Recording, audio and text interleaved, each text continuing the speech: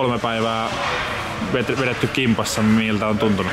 Hyvältä tuntunut, että hyvä kesä ollut takana ja päässyt reenaamaan paljon ja vastailla tästä. No tota, mi- miten noi testit sujuu? Ihan hyvin, ihan hyvin, että paljon menee eteenpäin. Siis hyvin, hyvin mennyt omasta mielestä.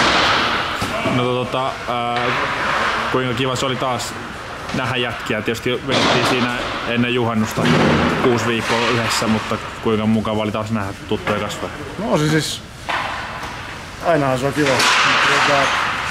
Oli paljon uusia jätkiä ja sitten oli myös vanhoja. Ja myös viime kaudella. Mutta mukava olla täällä. Viikolla sitten jo eka peli, kuinka paljon sitä odottaa, että pääsee pelaamaan. Tota noin, no, ai, totta kai kesähän sitä odotettu, että pääsee pelaamaan. Ja... Jani Manninen eka viikko takana, kolme päivää tuossa kimpassa tehty hommia, minkälainen fiilis tästä?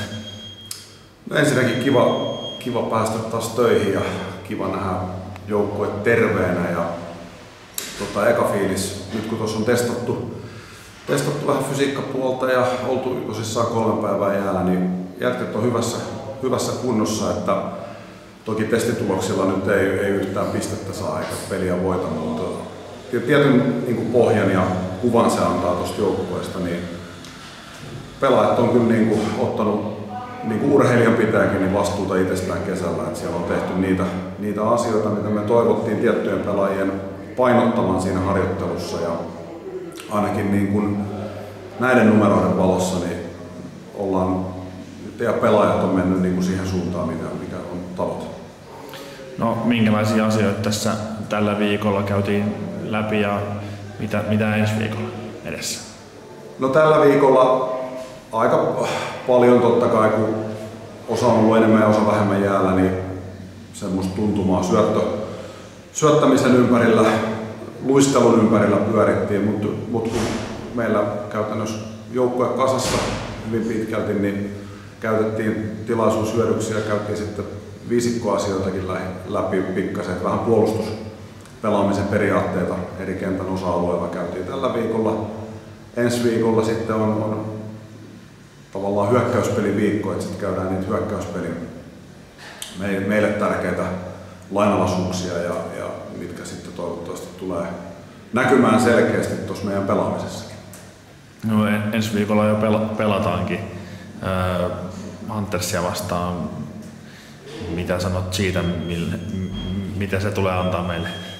No varmaan iso anti tulee olemaan siinä, että me päästään näkemään nyt pelipaita päällä ja pelissä noita meille tuntemattomampia pelaajia, muualta tulleita uusia pelaajia, nuoria pelaajia, niin se on ehkä varmaan se iso anti, mitä, mitä siitä pelistä haetaan, että, että meillä osa pelaajista huilaa sen pelin ja, ja, ja sitten osa pelaaja varmaan tulee pelaamaan osa, osa U20-joukkueen pelaajista siinä. mennään, mennään sillä niin nuorella ja niin kuin sanottu, niin meille ää, entuudestaan tuntemattomimmilla pelaajilla.